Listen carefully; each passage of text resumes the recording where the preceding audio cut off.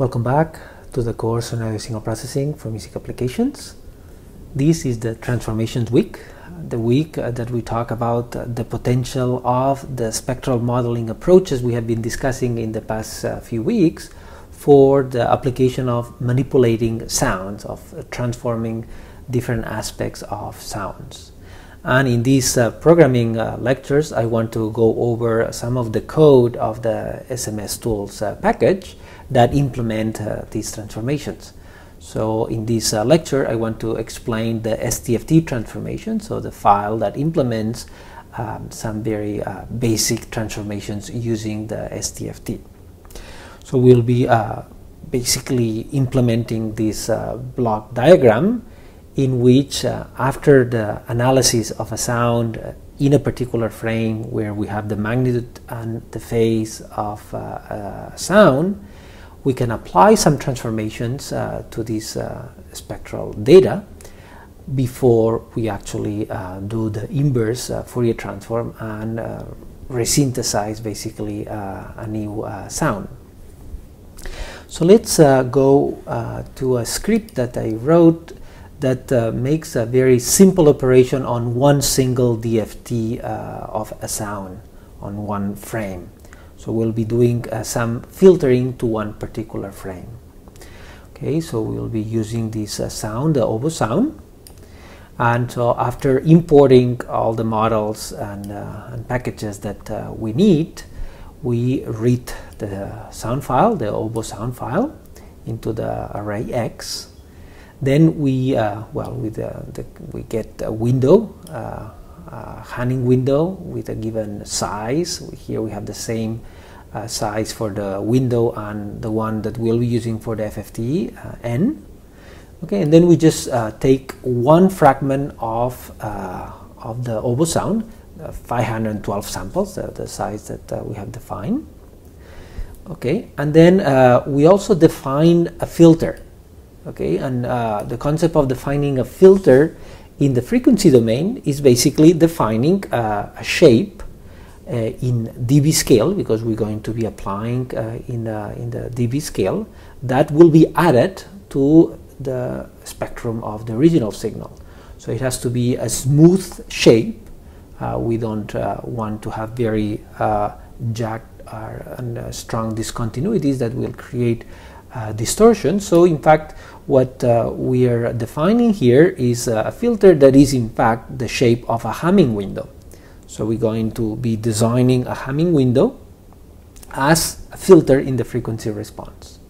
And in order to apply it in, uh, in dB, uh, we uh, multiply it by uh, minus 60 so that we have a shape. In fact, this is an invert uh, Hamming window. so this will be used to do basically a band stop filter. So we're going to um, uh, attenuate uh, certain frequencies uh, using this shape. We're going to see that uh, by plotting these curves.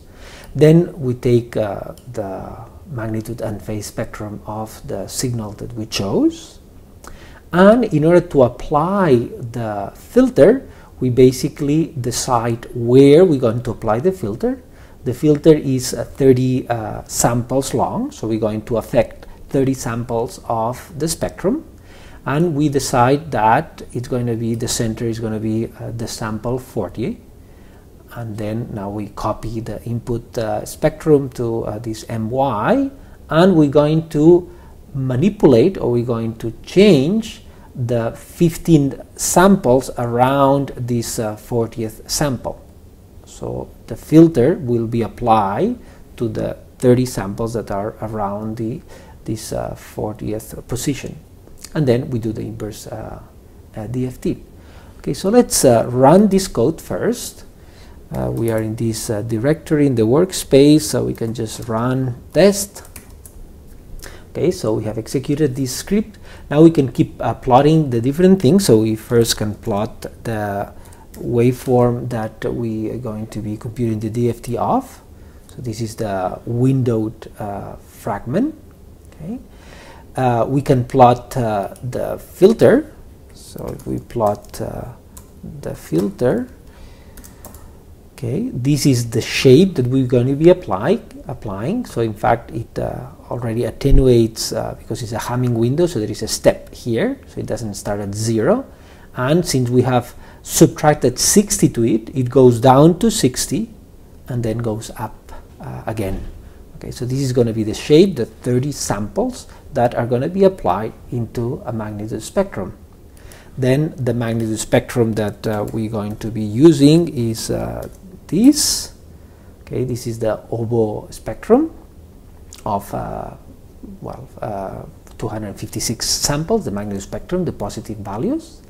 And now the modified version, well, let's uh, maybe uh, we can even uh, plot here on top of these the modified one. So we can plot the MY spectrum here.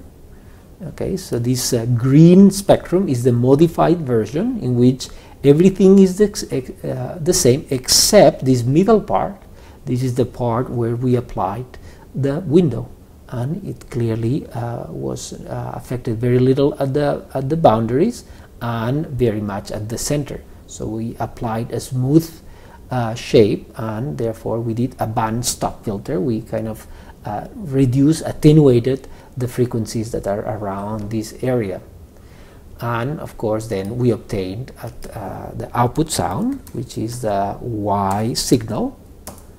Okay, this is the modified input signal. So in fact if we plot on top of this the original signal okay the green one is the original signal and of course the blue one has been attenuated and is the shape is quite different because we have attenuated certain frequencies uh, much more than others okay so this is a filtering operation that can be easily uh, done and then in the STFT transformations uh, file that is within the transformations directory uh, we can find this uh, code the STFT filtering uh, as it's implemented to be applied for a whole sound.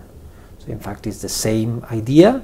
This is the definition of the function in which the input is the input sound, sampling rate, the window, FFT size and hop size and then we pass it this filter which is an array that is going to be uh, applied to the magnitude spectrum. And then uh, basically the core is this uh, while loop that does exactly what we uh, have uh, been showing for one particular frame. Performs the DFT, it applies the filter, and then it applies the inverse DFT. Okay, now let's talk about another operation that I believe is a little bit more interesting, which is uh, the morphing that uh, we talked about. So in this script, we're going to be morphing two sounds, the sound of a rain with the soprano uh, sound, but again one frame. Okay, in order to do this morphing, what we're going to do is apply the magnitude spectrum of one into the other, or basically interpolating the two uh, magnitude spectra. How do we do that? Well, we do exactly the same things that uh, we did for one single sound. We, uh, we define the window, we choose uh, these uh, two fragments. The, they have to be, in this case, the same size because we're going to be uh, applying uh, the, the, the, same operation on both sounds. We're going to be interpolating the two magnitude spectra. So these, they, they, we have to start from the same uh, window size, or at least then they have to be of the same size. Then we take the two spectra the, of the two sounds, of sound 1 and sound 2, and the the core part of the of the morphing is in this uh, next section so what we're going to do is uh, have one smooth version of one sound so that we only apply uh, the general shape of one sound into the other and uh, so that's uh, going to be the uh, the second sound is going to be the one to be smooth by one given factor 0.2 so we use the resampling, the kind of the downsampling aspect to obtain a smoother version of uh, the X2 spectrum. And then we upsample it again to, with interpolation to get uh, the complete spectrum with a, a smoother uh, representation. Of course, we can just uh, have no smoothing by putting a value of 1. And then we're going to basically combine the two, a linear combination of the two. We, we are uh, uh, in a dB scale, so we can just add them, otherwise we would multiply them, in which there is this balance factor that defines how much of each is in the, in the mix, basically. In this uh, 0.7, it means this 0.7 is applied to uh, the second sound, and uh, the rest of 0.3 is applied to the first sound. And then, of course, we take the inverse uh, DFT from the resulting uh, magnitude spectrum with the phase of the first uh, signal. Okay, so the phase will be of the first signal, and the magnitude spectrum is a combination of the two. Okay, let's run this again. Uh, let's run uh, test 1 okay and now let's keep uh, showing the different uh, uh, sort of variables that we have. Let's start with the magnitude spectrum. So let's plot the magnitude spectrum of uh, sound 1 mx1 okay and uh, well we had it open so we have to close it here and let's open it again. Okay so this is the magnitude spectrum of the rain sound. So it's quite noisy. Uh, it's of course it, uh, it decays in the high frequencies uh, so the low frequencies are stronger but it uh, decays as the frequencies go up. And the, we can plot on top of that the second spectrum which is this uh, soprano voice which is clearly different uh, soprano voice has uh, these very clear shapes which relate to the formants we are not so interested in this type of morphing to get a good resolution on the harmonics. We are interested in the general shape. Okay, and now uh, we can plot uh, on top of this the smooth version of the second. So we applied a smooth factor of 0.2. So mx2 smooth 2 is the interpolated so version of that. So if we put mx2 smooth uh, 2, uh, that's going to be the smooth version of this speech, uh, of this voice sound. Okay, so now this is the, the, the red line is the one that will be interpolated with the blue line. And now uh, with the balance 0.7, the resulting spectrum is my that also can be plotted on top of this. So my, okay, will be now is this uh, uh, blue line and it's clearly an interpolation between the two. So since it's 0.7 is closer to the red line to, than to the blue line. If we had instead of 0.7 we had let's say 0.2 or 0.1 let's uh, let's save that and let's uh, run the test 1 again. And now if we plot on the same uh, plot the my okay now is this uh, purple uh, curve and it clearly is much closer to the rain sound because we have specified 0.1 okay so hopefully that gives you an idea of this idea of interpolating between two magnitude spectrum and of course then when we uh, plot y the output this uh, will be the resulting fragment of the sound that uh, captures this uh, interpolation or this morphing aspect.